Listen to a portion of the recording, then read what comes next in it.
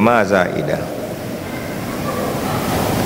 lakini kuzidisha kwenyewe tuakidu maana sharti awala lfili mm, kwa watu wenye kusoma soma na hau na hiyo nuni ni ya taukidi, tuakidu akhirahu.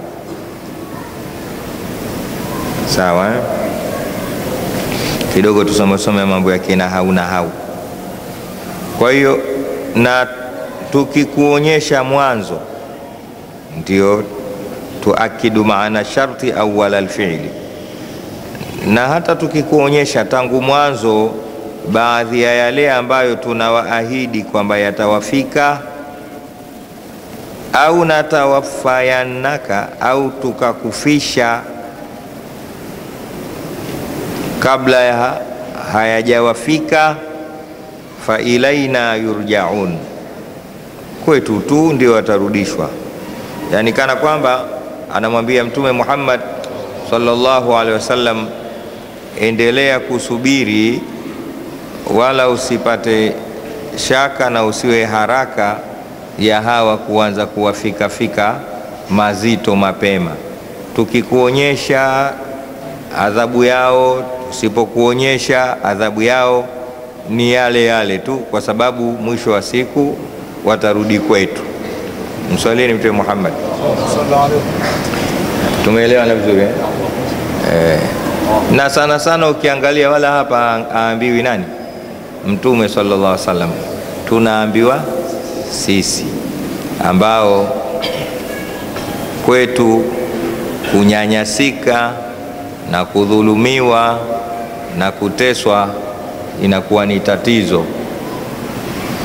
Mara moja tunataka hawa wanaotutesa kutunyanyasa tuwaone wanaingia katika mazito eh?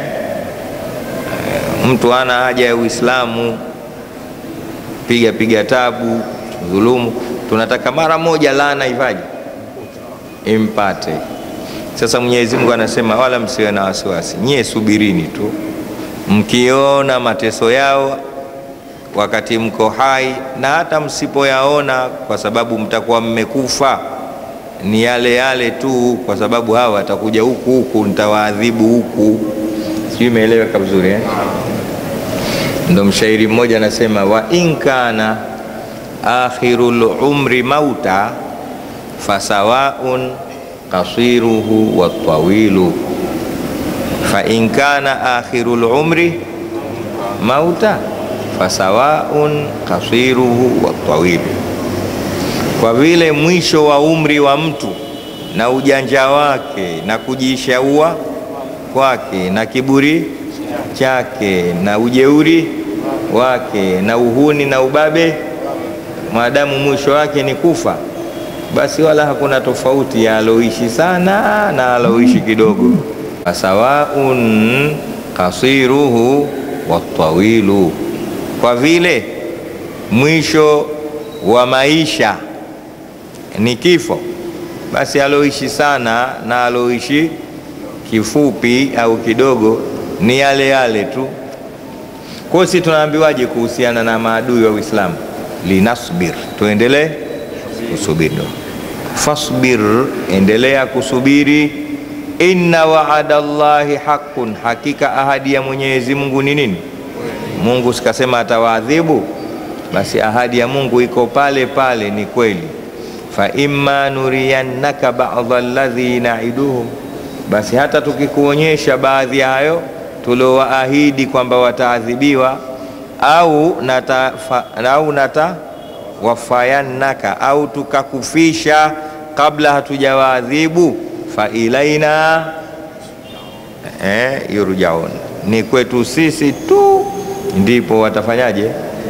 Na Mungu akusema yurja, fayurjauna ilaina, katanguliza ilaina, kisha akaleta yurjauna liifadati lhasri watakhsisi, yani kwetu tu lazima utie hilo neno kwetu tu, watarejeshwa. Hii ndiyo balagha na fasaha ya Qur'ani. Fa ilaina, ni kwetu sisi tu, yurjauna, ndipo watarudishwa. Hiyo ni taksisi. Ukifasiri hapo ukaacha hilo neno tu, utakuwa umekosea. Sawa, maana yake maishio yetu sisi ni wapi? Ni kwa Allah subhanahu wa ta'ala. Turuke ruke we eh? Lakini mwisho tunajikuta wapi? Kwa Mwenyezi Mungu subhanahu wa ta'ala. Ndo anasema inna rabbaka la bilmirswadi, inna rabbaka, hakika mola wako yupo katika mirswade. Siku moja nilitoa mfano huu, watu wakawa wale wanaopenda kutiatia mashaka maneno ya watu eh, wakanilaumu, lakini hawajui tu. manjahila shaian adahu, mtu asiojua kitu ukipinga. Mirswadi Kiswahili hamna neno almirsad lazima neno hili mirsadi ulieleze, ndio utapata tafsiri yake. Sasa wewe ndio utanambia. Nikasema mirsad ni ile kona anayokaa mfano paka. Nani? Paka akiwa anamwinda panya, na panya ni mdudu mdogo mjanja mwenye hawasi kali sana. Na leo nataka nikwambie, kila kijidudu kidogo kinatumia zaidi hawasi kuliko yule mkubwa, sawa sawa. Kwa hiyo panya anahisi mara moja kuchefuka kwa hali ya hewa kwamba hapa na, kuna adui kuliko wewe. Kwa hiyo panya wakati wote mipango yake kufaje? E, hawasi zake kujikinga kinga, na ndio maana kuna kila aina ya mtego wa nani? wapanya, kwa sababu kijingajinga umkamati, ana hawasi sana. Sasa paka kwa kujua panya ana desturi hiyo na ana chenga nyingi, huwa anatafuta ile sehemu ambayo piga huwa atapita.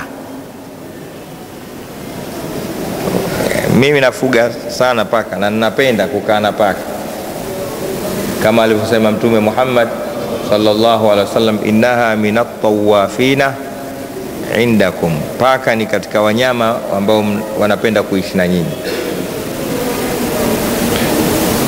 Sasa nimeliona mie mwenyewe hilo. Panya akifukuzwa na paka huwa anakaribia kufanyaje? Kukamatwa. Anachokifanya yeye humpitisha tundu ndogo, paka hawezi kupita, kitundu kidogo anaorojeka pale shak, paka kwa sababu ana kichwa kikubwa na mwili mkubwa anakuwa hawezi. Sawa sawa. Sasa anachokifanya paka anatengeneza miruswade, anatengeza, anakaa pale pale, anajua lazima atatoka. Umeelewa? Ile ndio inaitwa nini? Amjaona huko tena. Wakati mwingine unaweza kuona paka kajifanya kalala kabisa, kumbe muongo naye yarusad. Umeelewa eh? Anawinda pale na kisha akafungua macho sasa ile Mungu anasema inna rabbaka eh, kimbieni kimbieni, lakini kuna pahala Mungu kakaa mtakatiza tu. Inna rabbaka. Sasa hii Kiswahili inaitwaje? mawindo, sijui bwana, inaitwaje mirswad, intidhar. Uh, Kiswahili mimi nataka Kiswahili lugha fupi bwana sawa sawa eh?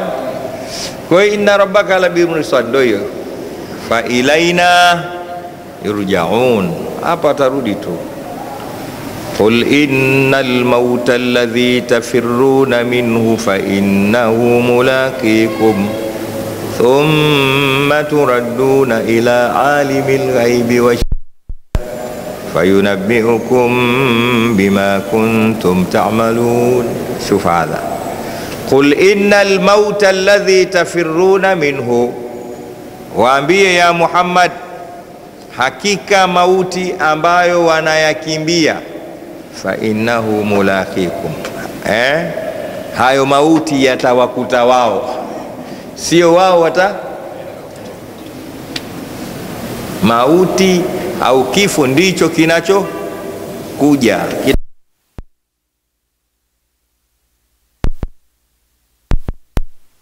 mauti, na sisi ni sawa sawa na jambazi anayemvizia yule anayetaka kumkaba.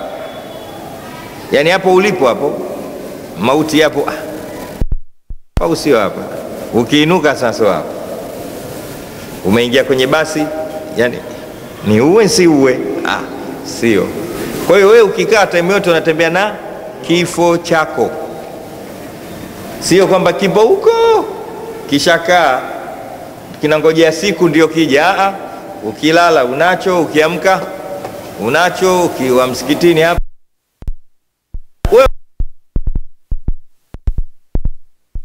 Qul innal mauta tafirruna minhu fa innahu manil fa'il almautu fa innahu mulaqikum, fa innakum tulaqihi, fa innahu mu kinakuja hivi. Wewe mwenyewe unapiga suti yako, lakini jamaa yupo hapo hapo, anaitwa mauti, na siku ikifika, la yuakhiruna saa wala yastakdimun, hawacheleweshi wala watangulizi, on the spot. Pale pale,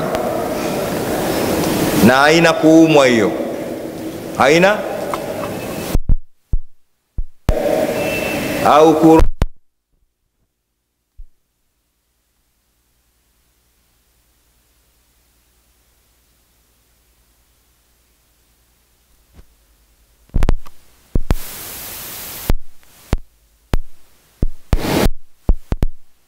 Allah.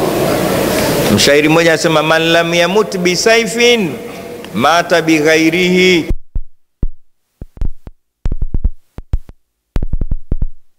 dun.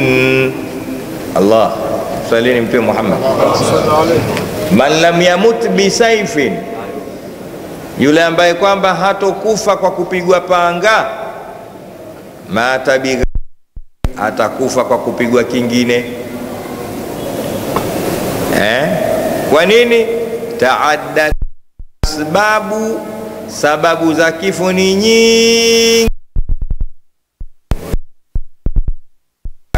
Kufa ni kule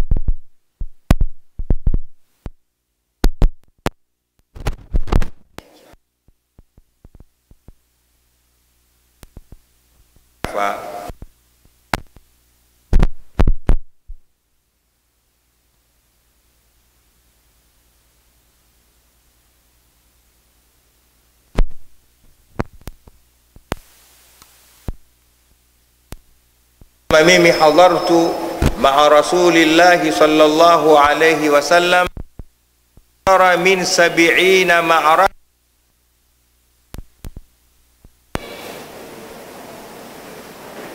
wa ha ana fil firashi amutu kama yamutu lbahim.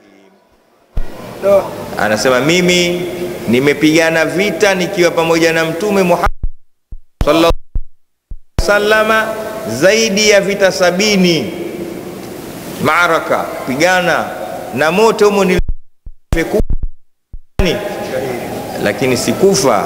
wa ha ana fil firashi kama yamutul ba, bahima. Sasa mimi ni hapa leo niko kitandani na kufa kama anavyokufa punda vile. Mwenyewe hakutaka kufa kitandani, alitaka kufa kapigwa mkuki wa kichwa akipigania dini katika mwili wangu, ima utakuta mpasuko wa chomo wa mkuki au mshale kiasi unaweza kupata shibiri mbili, hakuna kovu, mwili wote machale machale, makovu makovu. Alitamani afe wapi? vitani maskini, lakini anasema sikufa kule na kufa kitandani hapa kwa jipu. man lam yamut bisaifin mata bighairihi taaddadat lasbabu wala tadiri nafsun madha taksibu ghadan wama tadiri nafsun biayi ardhin ah. Hajui mtu atachuma nini baadaye. Ghadan hapa kwa maana ya baadaye, sio kesho. Yani hapa sasa hivi kuanzia sekunde moja hujui kitakutokea kitu gani, ndio ghada ndio inaanza hapo. Wala tadiri nafsun madha taksibu, au nani anajua atapata nini sasa hivi? Anabahatisha tu. Hii ni ku hii kujua kama kesho ni Jumamosi eh? Hiyo bahati bahati, lakini una uhakika kwa hiyo hajui mtu baadaye itamkuta nini.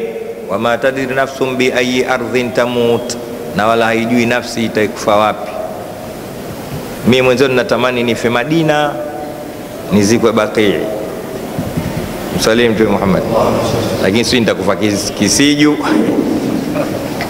eh, kimetamani kule kule, nikenda huku ije habari tu Walidi anazikwa Baki, lakini sijui maskini. Haya, Mwenyezi Mungu anasema failaina, ni kwetu tu. Kwa hiyo sisi hapa mabwana, chonde chonde tunakwenda, lakini ukomo wetu ni kwa nani? Kwa Allah subhanahu wa ta'ala. Uwe, uelewa wako na fikra zako na mipango yako ikiwa ni hiyo, siku zote hutomuudhi Mwenyezi Mungu subhanahu wa ta'ala lakini ukijiona ukifa utakwenda pengine, ndio utaishi hivi unavyoishi. Lakini kila ukikaa ujue kwamba mimi nitakutana nani. Mtizame Abu Dharri, Jundum bin Junada, Abu Dharri al-Ghifar aliulizwa siku moja na Mtume Muhammad sallallahu alaihi wasallam, ya Aba Dharri, madha tuhibbu, unapenda nini wewe Abu Dharri, unapenda nini? Anayeuliza hapa ni nani? Mtume Muhammad sallallahu alaihi wasallam. Unapenda nini? Mtu ambaye akikwambia unapenda nini, chochote utakachomwambia ninapenda, akimwambia Mungu unapata. Ebu fanya ndio wewe uko mbele ya nani? Ya Mtume Muhammad sallallahu alayhi wasallama anakwambia hivyo, unapenda nini ya Harun? Utachagua nini?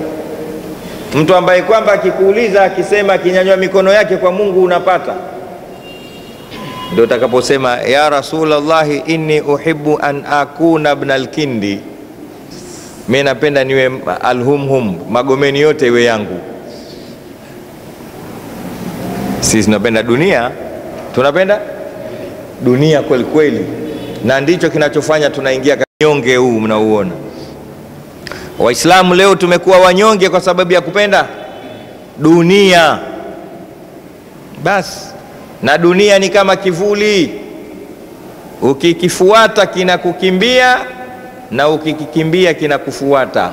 Ndio dunia ilivyo.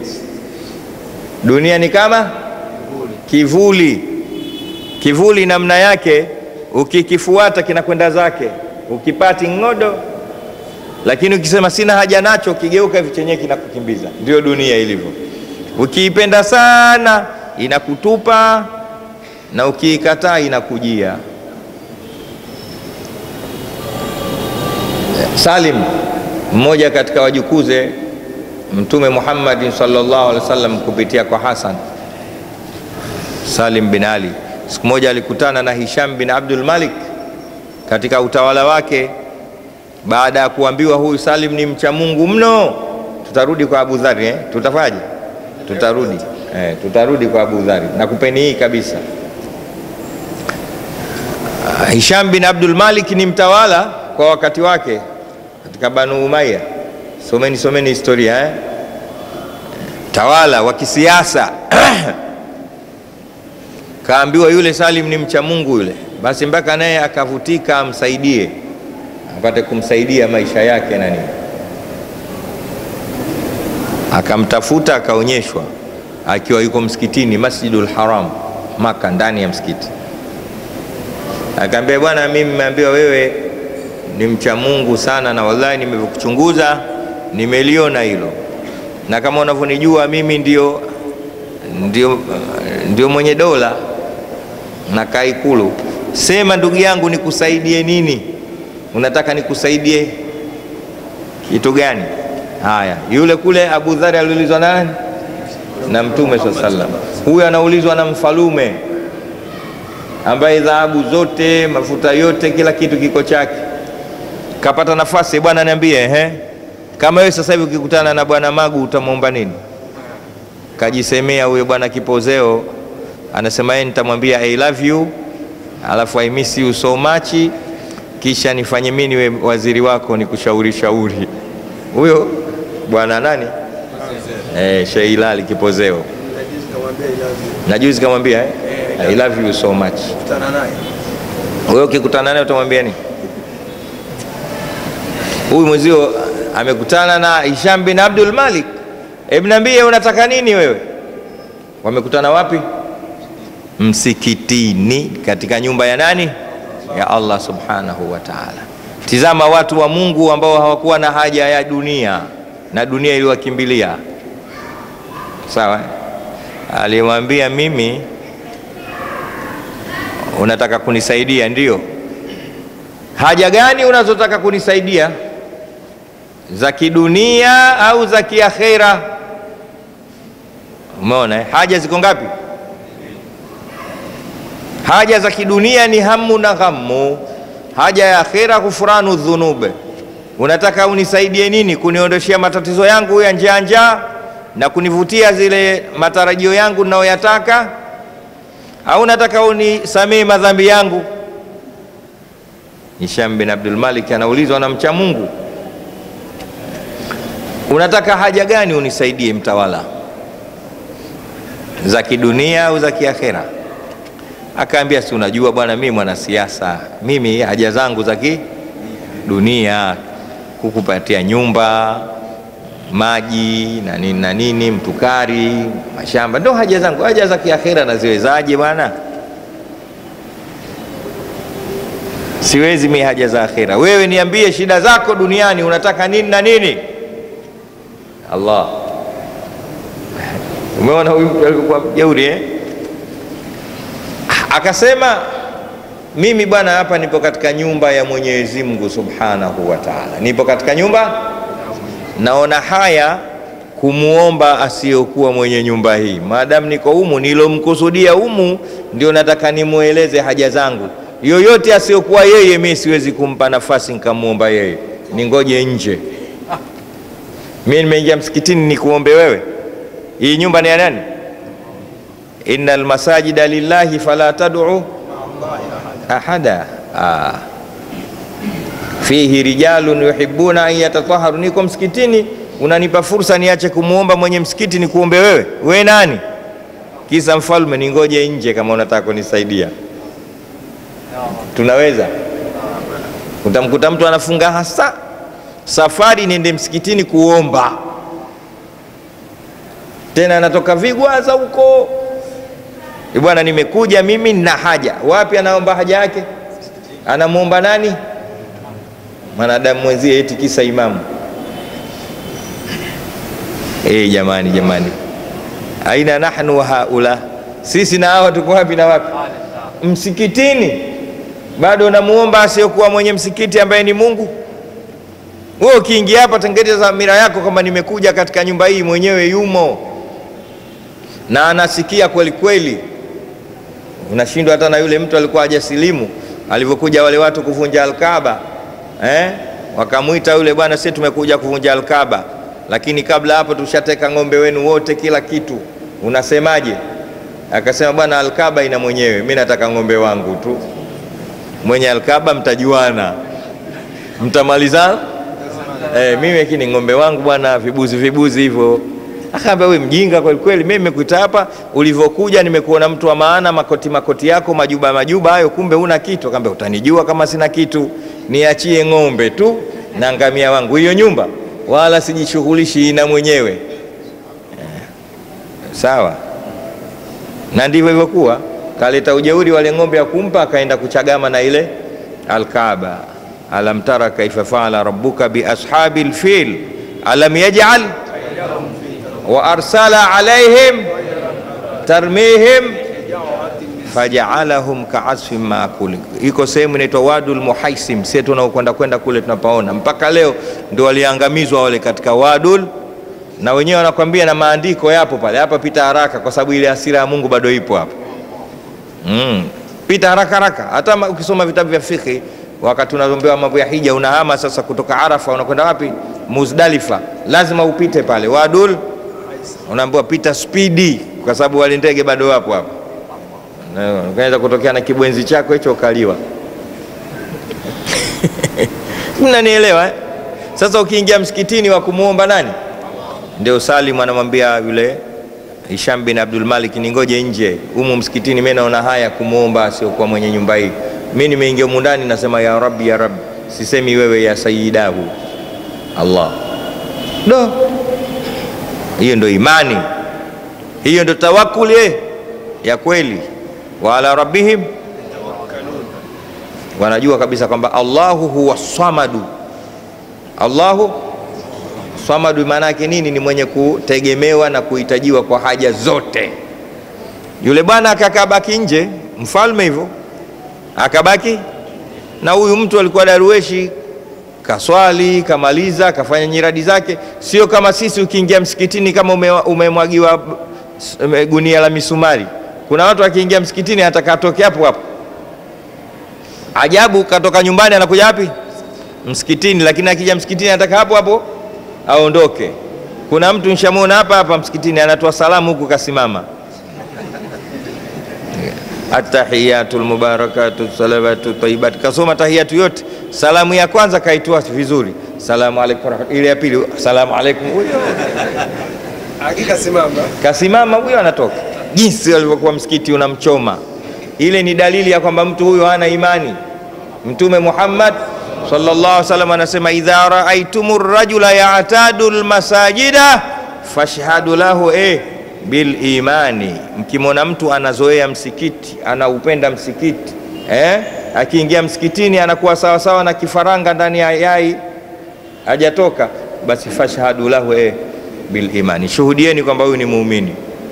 Ukimwona mtu akiingia msikitini yartah, hana wasiwasi msikitini, ta kimya, tena vurugu zikiwa huko nje, anakimbilia wapi?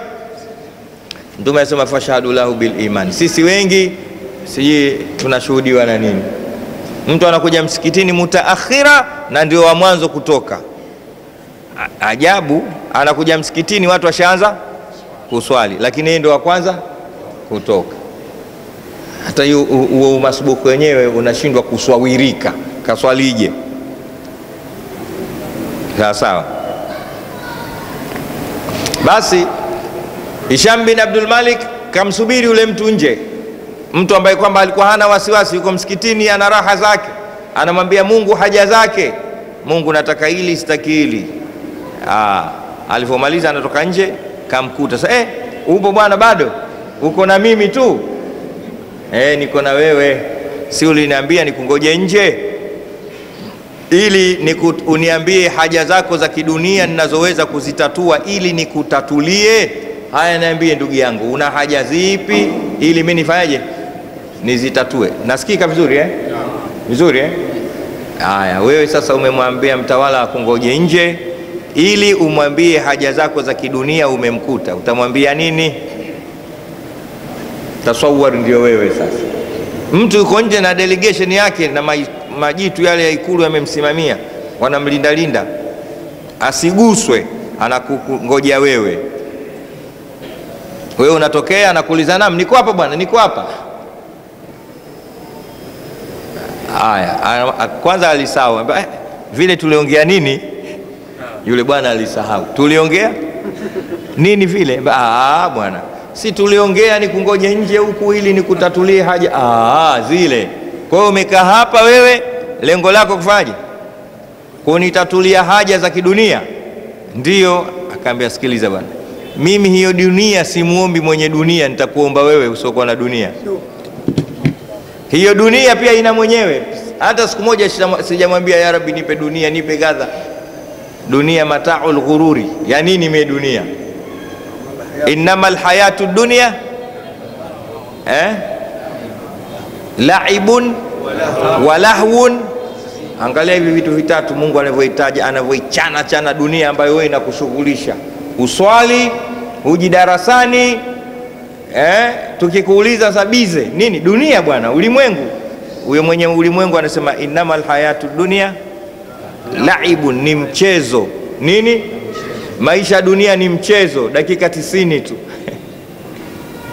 dakika tisini mnatoka tena uongo uongo, unafunga mpaka bao tatu moja, alafu mpira unaisha mfungo we tano. Si mnanielewa? Unajua, ukizungumza Qurani zungumza na kareji kareji zilizopo sasa hivi duniani. Si Simba jana eh? mpaka half time yeye nani tatu moja, alafu mpira umekwisha kala hamsa na Simba amezoea kufungwa tano tano wale. Ah, ndio hivyo tumenasa tena. Mimi jamani, mimi sio Simba lakini ikifungwa naumia, ndo tatizo langu. Nasema hivi, mimi sio Simba lakini ikifungwa naumia sana, siri yake sijui. Ah, turudini darasani. Mungu anasema maisha ya dunia ni laibun, ni mchezo, dakika tisini tu. Uongo? Dakika? Hivi. Hapa kuna watu washawekewa extra time, lile bao lishasimamishwa, zimeongezwa dakika tatu tu, wapo hapa hapa, dakika tisini zishakuisha, dakika tisini zisha. Eh, yule, yule refari wa nje kasimamisha bao, kaliegeza huku, kalionyesha huku, kalionyesha huku, watu eh, ndo kwanza dakika- zimebaki dakika nne na ndo ushafungwa. Wapo hivyo hapo. Inama lhayatu dunia laibun, sasa maisha dunia ni mchezo, alafu? Walahun na upumbavu. Lahun yani lahu ni ile michezo wanaocheza watoto wa kike, ile ndio inaitwa? Ile michezo yote wanaocheza watoto wa kike Kiarabu inaitwa? Lahun. Unajua watoto wa kike wanacheza rede mdako, ile nini sijui kamba, watoto wale. Hebu tajeni michezo ya watoto wa kike. Kupikapika mali ya mdimu kupikapika ya mdimu yale. Ndo Mungu anasema dunia ni mariamdimu tu. Akombolela Ah, Kombolela anacheza wanaume na wanawake, na Mungu asirudishe michezo mibaya sana.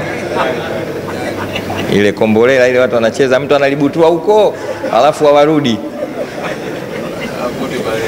alafu wote wamebalea hawarudi, watu wako huko, kisha ndio wanatokea tena. Mungu asirudishe michezo ile kombolela. Kwa hiyo Mungu anasema dunia ni mchezo dakika tisini na hii sawasawa na ile michezo ya watoto wa kike ile kupikapika hivi kushona, subhanallah. Lakini cha ajabu wazina wa na pambo. Hapa zina pambo, unaweza kusema kidogo afadhali eh? Hapo ndo hatari zaidi. Zina uongo, pambo ni uongo. Yaani unaweza kuingia wewe ukamwoa mwanamke kwa sababu ya zina, kajipamba kajipodoa, ngoja atoe vile vitu, utasema ndo huyu, kumbe alikuvuruga na mapoda. sijui mnanielewa? Ndio zina. Kwa hiyo dunia imetu ni mchezo. Kama hujaelewa, dunia ni ile michezo ya kike. Kama hujaelewa, dunia imekupambia sawasawa na biharusi. Ndio yeye anakuambia usipose siku ya sikukuu. Umemwona mtu siku ya sikukuu ukasema huyu ndo ananifaa, zina, kaongopa pale. Mswalini Mtume Muhammad. Kwa hiyo huyu anamwambia mimi sina haja ya dunia, kwa sababu huyo mwenye dunia sijawahi kumuomba hata siku hii moja. Niombe dunia mimi ya nini? Sina haja nayo. Kwa hiyo ndugu yangu, kama huna cha kunisaidia cha akhera, we shika njia tu, nenda. Sasa tunarudi kule kwa Abu Dhari eh? ili turudi hapa katika darasa yetu. Mtume Muhammad sallallahu alaihi wasallam anamuuliza Abu Dhari, madha tuhibu ya aba Dhari, una unapenda nini ewe Abu Dhari? Nimwambie Mungu hapa hapa akupe. Maanake hata nikisema naomba kufa pale eh?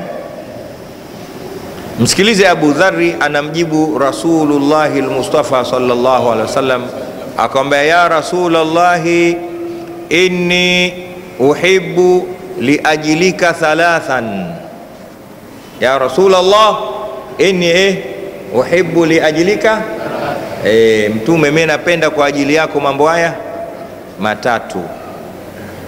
Wama hiya ya Abadhar, mambo yenyewe ni nini na nini? Akasema inni uhibbu ljua ya Rasulullah, inni uhibbu ljua, mimi napenda njaa. Mtume akakaa vizuri, eh, hiki chuma kinapenda njaa. Watali, na cha pili ni nini? Akasema ya Rasulullah, wa uhibbu lmaradha, na ninapenda kuumwa mie. Mtume akarudi nyuma kidogo, anapenda njaa, anapenda kuumwa. Hebu tungojee cha mwisho, na cha mwisho akamwambia wa uhibbu lmauta, wa uhibbu mimi napenda kufa. Allah, Mtume akafikicha uso wake akamwambia ya aba dharri limadha, limadha tuhibbu hadhihi thalathata wannasu yakrahunaha, kwa nini unavipenda hivi vitatu ili hali watu wote wanachukia, hawapendi njaa tena, wanaambiana adui yako mwombee nini? Njaa. Sawa, watu hawapendi maradhi. Kwa Tanzania kiongozi wao wa mwanzo akasema saa maadui zao ni wangapi? Watatu. Eh, maradhi yakiwemo, na unapenda kufa. Kwa nini? limadha tuhibu hadhihi salasa wannasu yakrahunaha, kwa nini unavipenda hivi vitatu na watu wanavichukia? Msikilize Abu Dharri anamjibu Mtume Muhammad sallallahu alaihi wasallam, akamwambia ya Rasulullah, inni uhibbu ljua liannani idha ju'tu raqqa qalbi inni uhibbu ljua liannani idha ju'tu raka qalbi, mi napenda njaa kwa sababu pale ninapokuwa na njaa moyo wangu unakuwa mlaini, mkarimu, unakuwa raqiq, mpole, nakuwa mwadilifu nikiwa na njaa kuliko nikiwa na shibe na kuwa jeuri. We mtizame mtu alioshiba na alikuwa na njaa, na usipate tabu. Sasa hivi una njaa, umeona umekaa hapa kimya. Mimi nina hakika ukifuturu nikiweka darasa hili hapa ukai hivi, tuweke darasa leo, baada ya kufuturu mtakuja?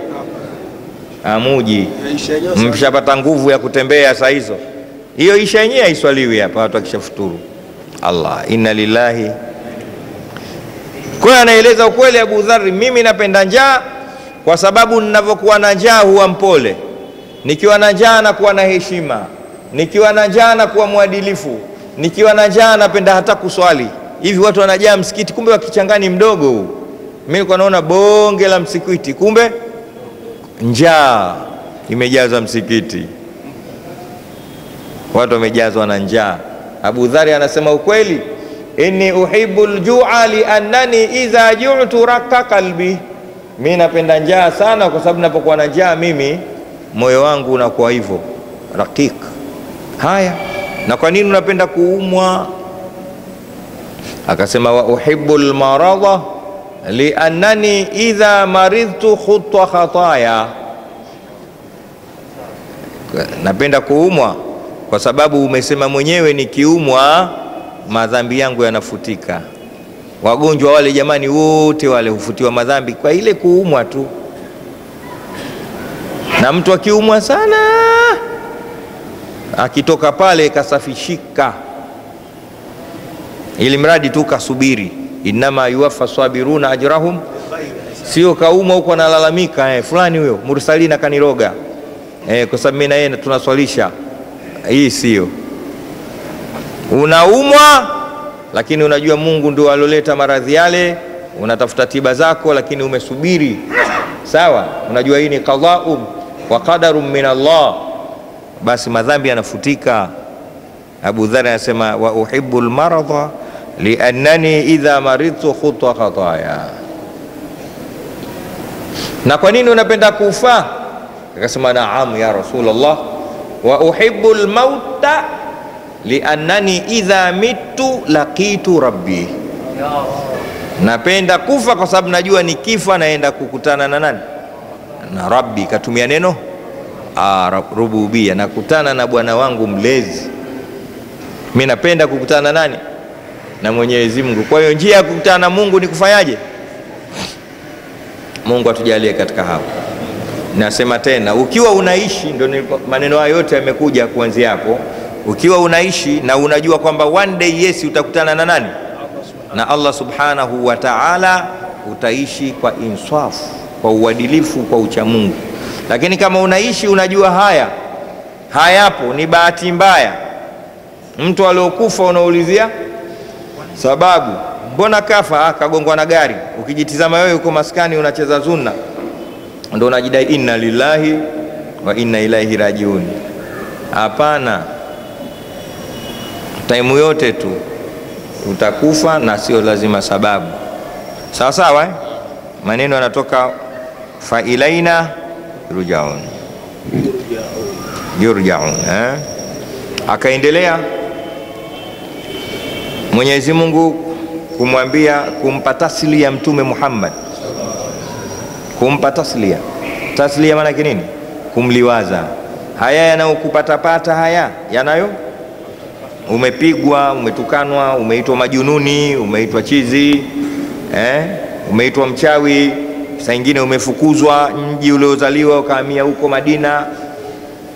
Haya yote wewe sio wa mwanzo, ndo Mungu anasema walakad arsalna rusulan min qablik, tulishawatuma mitume kabla yako minhum, baadhi yao man kasasna alaik, wapo wale tuliokusimulia habari zao na yaliyowapata. Wa minhum, na baadhi yao man lam naksus alaik, wako wengi tu ambao hatujakuhadithia. Wapo katika mitume tuliokuhadithia, lakini wengi sana hatujakuhadithia na aliohadithiwa eh, ni mitume ishirini na tano tu. Sawa, ni ishirini na nne na wewe ni wangapi? Wa ishirini na tano. Kahadithiwa mitume ishirini na tano, ishirini na nne tu. Ameipokea hadithi Imam Ahmad kutoka kwa Abi Dharri, huyu tuliomtaja, anasema siku moja, qultu ya Rasulullah Nilimuuliza, ewe mjumbe wa Mungu, kam adadul anbiya, ni ngapi idadi ya manabii? Qal, akasema Mtume sallallahu alaihi wasallam, miatu alfin wa arbaatu wa ishiruna alfa, miatu alfin wa arbaatu wa ishiruna alfa. Abu Dhari anajibiwa na Mtume Muhammad, anasema mitume yote ni laki moja na arobaini na, na ishirini na nne elfu laki moja na ishirini.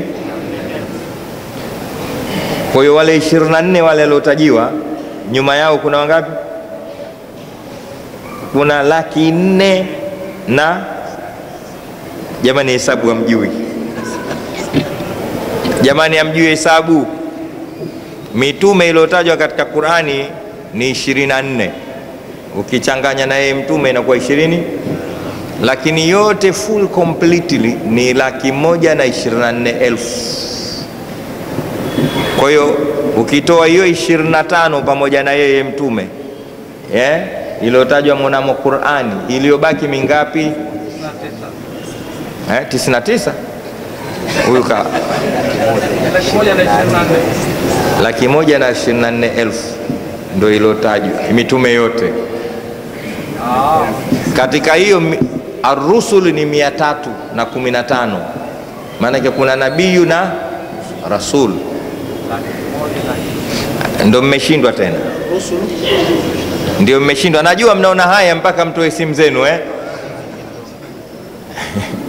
Yaani sasa hivi vichwa vyetu vimekuwa havina kazi, kila kitu simu. Kajisemea Habib Ali bin Ahmad al-Badawi anasema, nusammi al-asra asra an-nuri walakin bada nuksanuhu fi izdiyadi fafihi bikathrati maktarauhu swara uqulu nasi takhdhau liljamadi.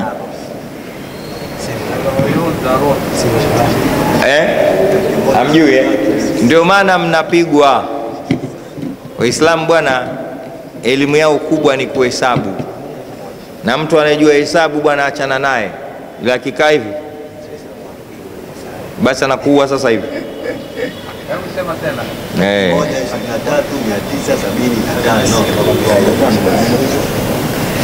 Mnagombana bado?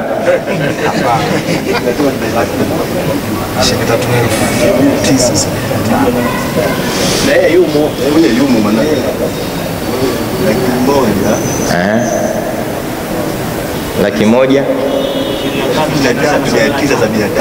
Ishirini na tatu elfu mia tisa na sabini na tano. 23,975 Eh, eh, kwa sababu na yeye si yumo? Yumo. Mswalini Mtume Muhammad, pigeni pigeni hesabu, kwa sababu hesabu ni katika elimu zenu, litaalamu adada sinina. Mtume Muhammad sallallahu alaihi wasallam alikuwa anasema someni sana mirathi, kwa sababu fa innahu awwalu ilmin. Yu? Yu? Yufqadu. Eh, fa innahu awwalu ilmin, anasema someni sana mirathi kwa sababu ndio elimu ya mwanzo itakayo ondoka duniani, na mirathi ni hisabu tupu. Kama huna hesabu huwezi kujua mirathi, na Waislamu wote hamjui ilmu ya mirathi, na ndio maana watu wakifa mnakimbilia mahakamani, mnaacha yale mafungu sita yaliyotajwa katika Qur'ani, na nyimbo zenu mnaimba, tutatoa na roho kwa mali ya marehemu tutatoana roho eh, kwa mali ya. Kwa nini mtoane roho wakati Mungu keshagawa? Kwa sababu watu hawajui hesabu. Basi Mwenyezi Mungu anamwambia Mtume Muhammad sallallahu alayhi wasallam, walaqad arsalna rusulan min qablika, hakika tuliwapeleka mitume kabla yako na wakayapata matatizo eh? kama wewe. Minhum, miongoni mwao, hiyo mini ya tabiidhi eh? Minhum man kasasna alaika, baadhi yao ni wale ambao tumekusimulia habari zao. Wa minhum, na baadhi yao man lam naksus alaik, ni wale ambao kwamba hatujaku eh, wa rusulan qad kasasnahum alaika min qablu wa rusulan lam naksus alaik, suratu Nisa pia ametaja haya kama hiyo eh? Kwa hiyo mitume yote ni laki moja na e- elfu ishirini na nne katika hiyo laki moja na ishirini na nne alfu rasul eh? ni mia tatu na kumi na tano mia tatu na kumi na tano mitume mia tatu na kumi na tano manabii waliobaki. Nini tofauti ya mtume na nabii? Kuna tofauti sana katika watu wa kitauhidi. Wengine wanasema nabii ni yule mtu aliopokea wahi hata kama hajaamrishwa kufanyaje, kuufikisha kwa watu wake. Rasul ni yule aliyopokea wahi na akaamrishwa kufanyaje, kufikisha eh? Hawa watu wa tauhidi wengine wanasema hivyo, wengine wakasema hapana, rasul ni yule ambaye ametumilizwa pamoja na kitabu. Nabii ni yule ambaye katumilizwa hakupewa kitabu, bali anatumia kitabu cha mwenziwe aliyotangulia kabla yake au waliokuja wakati mmoja, kwa sababu kuna nyakati zinginezo, kipindi kimoja Mwenyezi Mungu ana mitume miwili mitatu mpaka mitano. Ukisoma katika Qur'ani utaligundua hilo. Katika wakati mmoja kuna mitume zaidi ya mmoja, sijui tunaelewana eh? Na wanakutana wanatembeleana. Wewe ukifata kisa cha Nabii Allahi Lut utaona alikutana na mmoja katika nabii, sawa sawa. Sasa rasul hawa wapili wanasema ni yule ambaye alitumwa na kupewa kitabu kama vile Mtume Muhammad. Umeelewa? Nabii ni yule ametumwa tu, la- hakupewa kitabu chake, anatumia kitabu cha wenziwe waliotangulia au wale waliokuja nao wakati mmoja, sawa sawa. Na hii ya pili ndio naipenda sana mimi kuliko ile ya mwanzo ya kwamba nabii ni mtu ambaye amefanyaje, Ame, amepewa wahi lakini hakuamrishwa kuufikisha. Sasa maana yake ni anao tu yeye, hakutumwa kuufikisha. Japokuwa kauli hiyo ipo, ukisoma vitabu vya tauhidi, sawa, ni kwamba wake yeye tu wahi yule ana ukwaa unabii. Inshallah tusomeni tauhidi pia eh? Kwa hiyo kuna mitume ambayo mingi tu mingi ilitangulia hapa duniani, wala tusijione sisi ndio wajanja wenyewe mm. Nini maana yake kuleta hii, walakad arsalna rusulan min qablika minhum man kasasna alaika wa minhum man lam naksus alaik. Hii watu wa balagha wanaita tashbihu dhimni, tashbihu tashbihu dhimni, sawa sawa eh?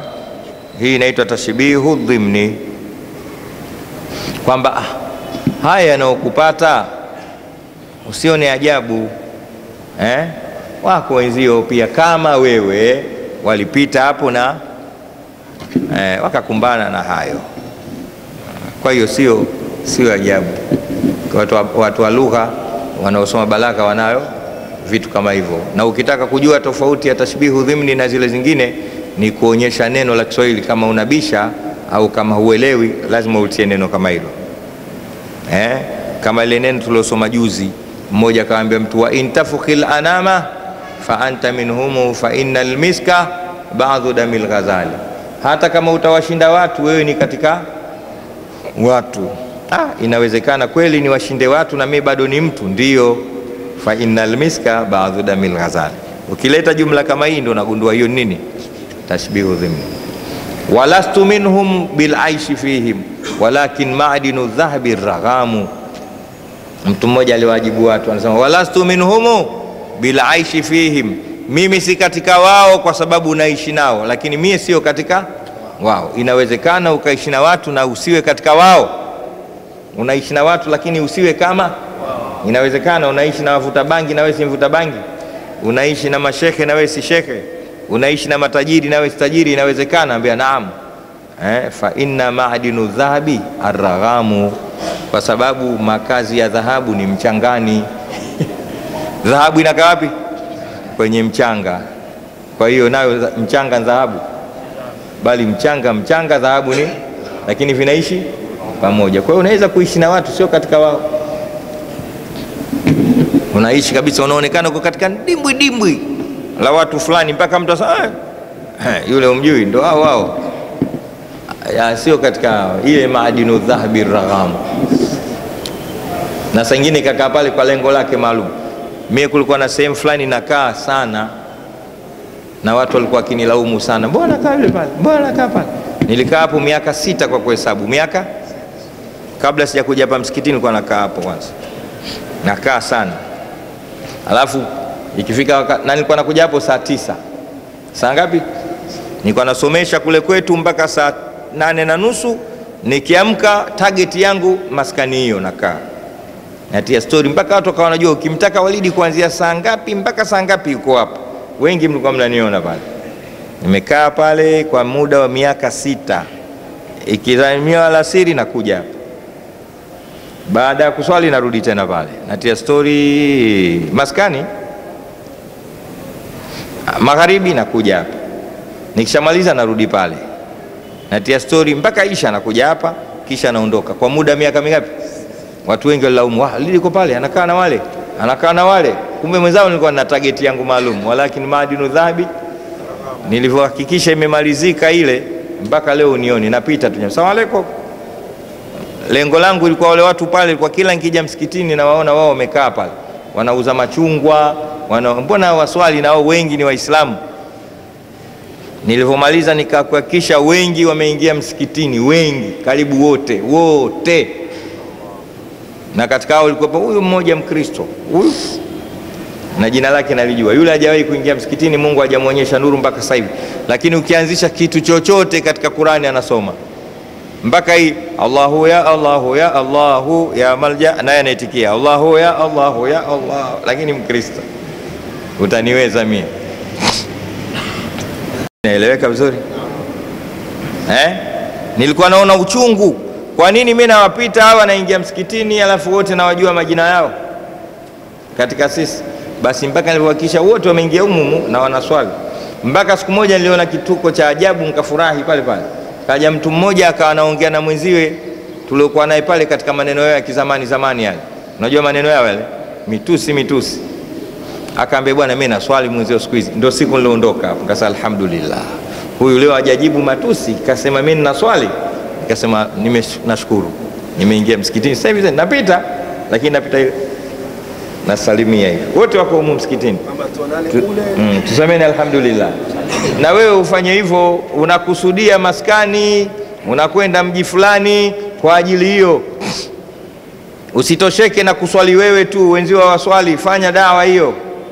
Toka wenzetu wa tablighi wanatoka siku 40 zile, we kama una nafasi ile humu tu hivi, ukitoka huko unapokaa mpaka hapa unapita maskani ngapi?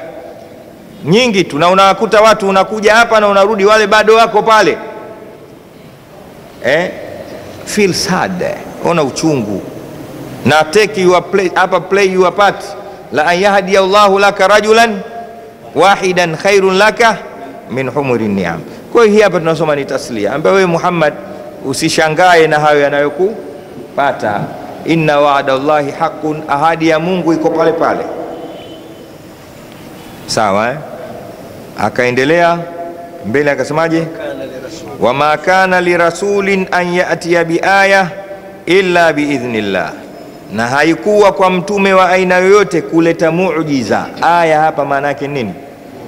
Muujiza, almugiza, muujiza, eh, miracle wazungu wanaita, waswahili wanaita miujiza, watu wa pwani wanaita muujiza. Ma huwa almujiza? Muujiza ni nini? Muujiza ni amrun khariqatun lilada tadhharu ala yadi min yadil nabii, yani amrun khariqatun lilada, ni jambo ambalo linakata kawaida, jambo si la kawaida ambalo linadhihirishwa na mtume, lile ndo linaitwa muujiza. Kama unasikia Mtume Muhammad sallallahu alayhi wasallam eh, watu wake walimtaka kama yeye mtume kweli ashushe mwezi chini upasuke kama wanavyosema watu wa tarikh na akafanya hivyo. Ni kitu ambacho hakiwezekani kikawaida, lakini wakati wa mtume kilifanyaje? Ile inaitwa nini? Muujiza. Au katika vita vya Khandak, katika vita vya Khandak, mmoja katika maswahaba alimfata mtume akamnong'oneza, "E bwana Mtume, nimeona unapiga shoka mpaka umechoka katika kuchimba mahandaki na njaa inakuuma Mtume. Unasikia baba? Unasikia. Nyumbani nimemwamrisha mke wangu atengeze supu kidogo na mkate, wewe mtume wa Mungu, twende ukale. Ananong'onezwa kwa mahaba kabisa Mtume sallallahu alaihi wasallam kwamba nyumbani kuna kiji supu na kiji mkate, twende ukapate nguvu, mtume wa Mungu wewe. Watu walimpenda mtume. Hayo ndo ana- anaitwa mahabbatu mahabbatu ihtiramin wa rahma. Hayo mahaba ya, ya huruma. Mahaba yako namna tatu, kuna mahaba ya taadhimi na mahaba ya, ya ihtiram na mahaba ya istihsani. Mahaba namna hizi e, Imamu Dhahabi anataja. Imamu Dhahabi ni mtu wa kwanza katika kusherehesha ile a, a, Imamu al-Khattab Imam al-Khattab mmoja katika washereheshaji wa Bukhari anasema mahaba ni namna ngapi? Kuna mahaba ya huruma na mahaba ya kutukuza na mahaba ya kuheshimiana. Unampenda mtu kwa sababu unamtukuza, kama mapa, vile unavyompenda wewe baba au mama au mwalimu. Yale yanaitwa mahaba gani? Ya ta'dhimin wa ijlal, mahabbatu ta'dhimi wal eh, unampenda mtu kwa sababu unamtukuza. Alafu kuna mahaba ya kuhurumia, kama vile wewe unavyompenda mtoto wako, ni mahaba ya sawa sawa na kuna mahaba istihsan, kama wewe unavyompenda rafiki yako, unavyompenda mkeo, namna hiyo. Na haya yote inshallah, tupata nafasi tutaeleza, ameyafundisha Mtume Muhammad katika ile eh, la yu'minu ahadukum hatta akuna ahabba ilaihi min min min walidihi wa waladihi wa nasi ajmain, mahaba matatu. Min walidihi mahaba ijlali wa ta'dhim, wa waladihi mahabatu rahma, wa nasi ajmain mahabatu istihsan. Huyu ndo Mtume Muhammad. Kesho tukipata nafasi tutaelezea. Sasa huyu sahaba anamwambia Mtume, nyumbani kule kuna kijimkati na kijisupu kidogo, twende bwana, kwa siri siri, anamnong'oneza. Mtume akaambia kweli? Akaambia kweli. Haya, nakuja, nakuja, tangulia na nakuja. Basi ile kumpa mgongo tu, alivyomwona akaingia nyumbani kwake, Mtume kapiga kelele, jamani, eh, fulani katuandalia supu na mikate. Lo, watu wana njaa piga sururu shoka njaa eh? Mtume ni swadikul masduk, asemi uongo. Nani fulani? Mtume mbele, lile jeshi la watu mia tatu wanakwenda, kumbe kule kuna kijimkate na kijisupu. Yule swahaba anatizama lile jeshi linavyokuja, ah, anamwambia mkewe, da, tumeumbuka. Mkewe, unajua wanawake akili zao ni daurani Akaambia nakuachia mimi mwenyewe na ninaondoka na kwenda kwetu kwanza. Wakishaondoka wageni wako utanambia. Tea balaa mimi. Wewe umeniambia mimi nitengeze supu na mkate mmoja jeshi lile. Si hata tutafuna sisi wale. Mimi naondoka mume wangu. Ukishamalizana nao niite. Mtume anakuja vumbi linatimka. Allah. Kufika pale ya rasulllah nimekwambia wewe Kaambia tulia wewe. Ana Rasulullah. Ana mi mjumbe. Iko wapi hiyo supu? Iko wapi? Kile kibakuli cha supu Mtume akaweka kiganja chake, akaweka Allah. umefaham. Vizuri? Walikunywa watu ile supu mpaka wameshiba, nyanga nyanga, wamesinzia, bakuli liko vile vile, na ule mkate alikuwa anakata mwenyewe kidogo tu, unashiba hatari. Hii ndio muujiza, amrun kharikatun. Ingine imetajwa katika Qur'ani, wama ramaita idh ramaita walakinna Allaha rama. Katika vita vya Hunain, Mtume swalla salam alichukua nini? Mchanga tu, akawarushia maadui karibu elfu tatu mchanga wa kiganja kimoja, ukampata kila mmoja katika wale elfu tatu na wakadhurika waka. Ndio wama ramaita idh ramaita walakina llaha eh kad kanat lakum aya fi fiataini iltakata fiatun tuqatilu fi sabilillah wa ukhra kafiratun. Apa piga mstari, yaraunahum mithlaihim ra'yal ain wallahu yuayidu binasrihi man yasha. Allah, Allahu akbar. Amba katika vita vya Badru masahaba pamoja na mtume alikuwa wangapi? mia tatu na something wengine wanasema mia tatu tupu, mia tatu na kumi, mia tatu na kumi na tatu. Maadui walikuwa elfu moja na cha ajabu, maadui waliwaona maswahaba wako sawa sawa na wao mara ngapi? Yani wale elfu moja waliona wale mia tatu ni elfu mbili. Tena asema raaya lain, Qurani imesema yaraunahum mithlaihim, wanawaona ni mifano yao wao. Raaya ain, kuona kwa jicho, taukidi. Huu ni nini?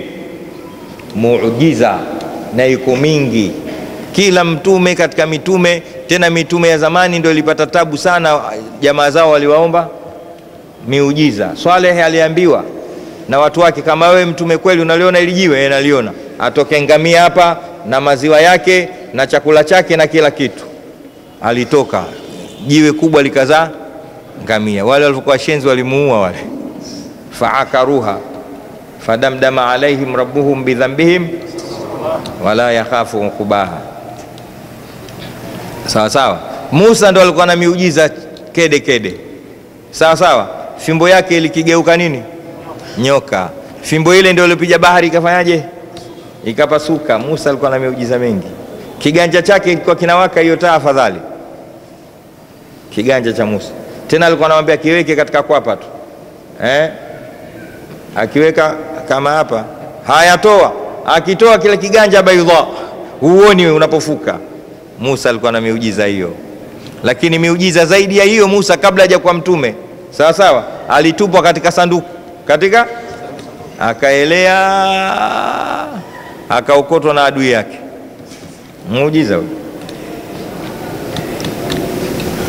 Jambo kama hili likidhihiri kwa walii ndio linaitwa karama. Linaitwa nini?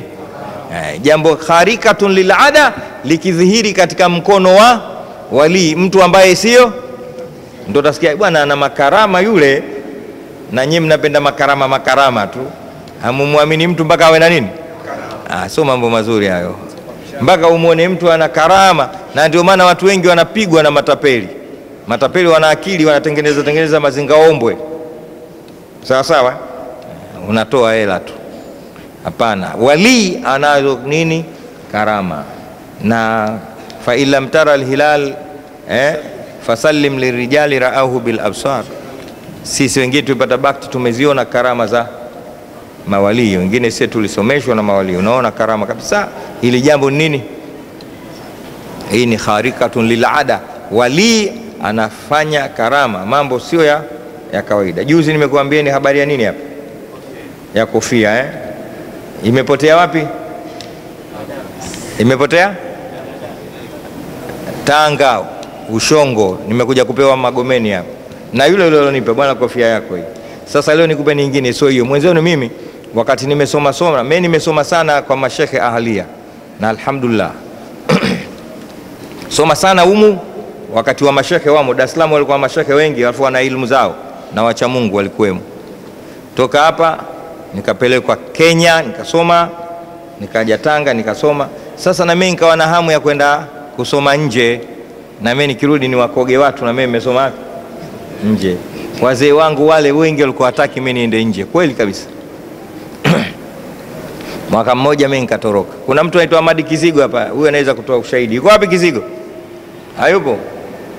Eh, kama kesho akija muulizeni. Yupo. anakaja kila siku darasani. Yule Kizigo alikuwa anaishi Uturuki. Akapita Siria, akakutana na kijana mmoja anaitwa Swaleh. Akaambia bwana Walidi, bwana mimi nimesoma naye, mpelekee tiketi aje huko. Aje wapi? Eh, tokea hapa ni Syria, ndio tena imetoka hiyo. Na nilikuwa na mpango wa kupanda meli baharia. Utoto bwana. Sijui mngesomeshwa na nani darasa hii? Unamkumbuka Swale? Kaka yake Swale ndo yuko pale, anaitwa Saidi kwenye mambo ya waliwali yale. Swale yule ndo kantumia mimi tiketi, imekuja tiketi, kaja nayo Kizigo. Da, bahati mbaya yule kamfikishia babangu, bwana, tiketi ya Walidi. Mzee alisawajika, lakini akanipa, bwana, tiketi yako inasikia unataka kusafiri mzee. Aliniudhi ule Kizigo, lakini amna noma. Sikizeni hii imenikuta mimi ile tiketi ilikuwa inaanzia Nairobi, ilikuwa ianzia hapa, imekatwa. Naondoka na KQ kutoka Nairobi Damascus. Nikapanga safari zangu mimi, nikaondoka hapa, nikawatoroka wazee wangu, nimepanda basi kosti basi mpaka Nairobi. Allah, nakumbuka nimefika kule Jumatano alfajiri ya Alhamisi kuamkia Ijumaa, ndio napanda pipa na kwenda zangu Damascus. Nimefikia hoteli, kuna rafiki yangu mmoja nimesoma naye anaitwa Yunus. Eh, nimefika kwake kwa sababu Nairobi nilikuwa naijua. Nimekaa kaa pale, akanisindikiza mpaka hoteli na tukaahidiana asubuhi ya alfajiri ile ya Ijumaa ya kuondoka aje ili nifanyeje, nitemke.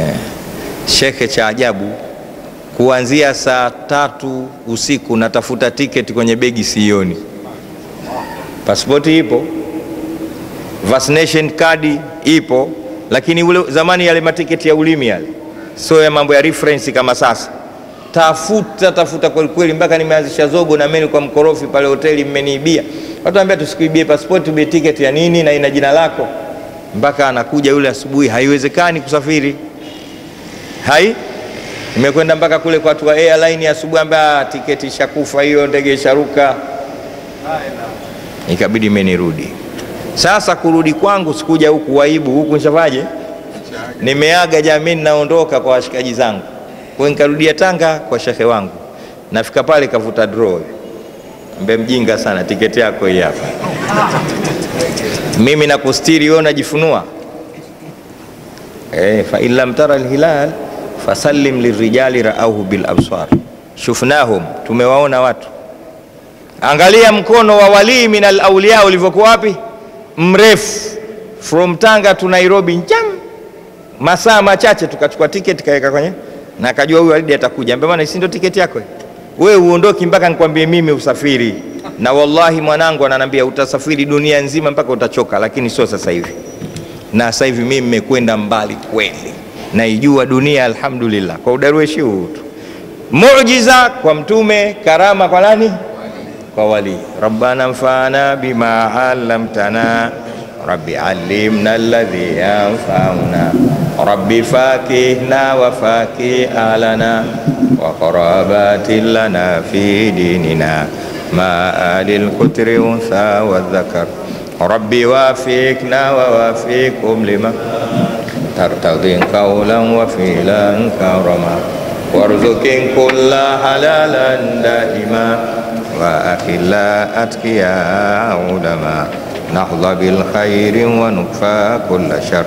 ربنا أصلح لنا كل شر من رضا منك العيون واقض عنا قبل أن تأتينا رسل المنون. واغفر استر أنت كرام من ستر. وصلاة الله تخشى المصطفى. من إلى الحق دعانا والوفاء بالكتاب فيه للناس الشفاء وعلى الآل الكرام شرفا وعلى صاحب المصابيح الغرار عليم سري وأخفى مستجيب دعواتي. ربي فإبنا علوما برسول الله واحلل عنا المشرك.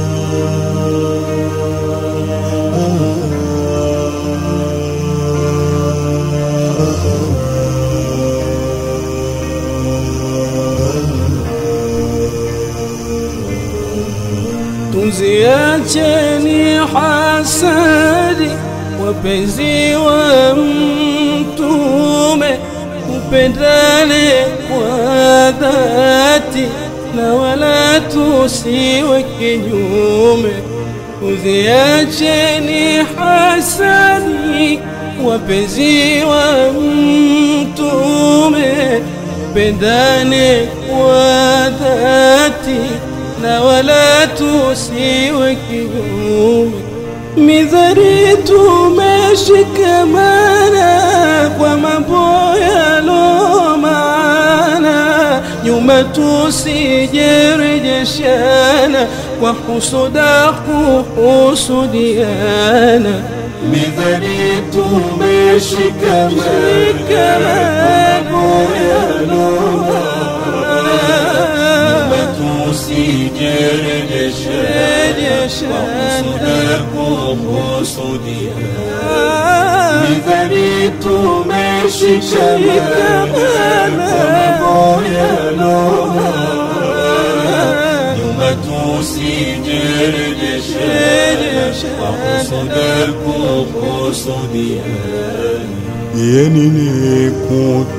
كان لها machafu kutambiana dhambi kuhusudiana ukweli na wambia yanini kutukanana machafu kutambiana dhambi kuhusudiana ukweli na wambia mwenye husda na kheri kwa rasuli na kahari yepuke jemedari Allah takuridhia mwenye husda ورسوله لقهري يبوك جمداري الله تكور الدنيا. ميزانيت ماشي كمان